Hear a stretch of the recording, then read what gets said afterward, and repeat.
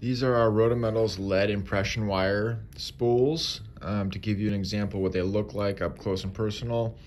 Um, we have many different diameters. Um, the smallest is 0.010.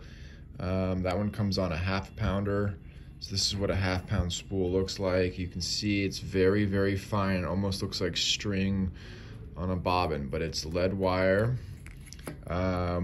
And we go all the way up to 0.032. We also have some 0.04, 0.06, and other even thicker sizes.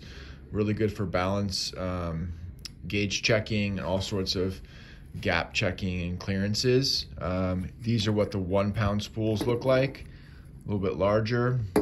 Here is a five pound spool, and we do have larger diameters all the way up into a 25 pound spool. Some of the smaller diameters do have a trace of antimony in there to keep them from ripping and breaking apart too easily. Um, but we also stock many of the most popular sizes for quick same day shipping, and we also have other custom sizes available for special orders. Please contact us if you have any questions. Thank you.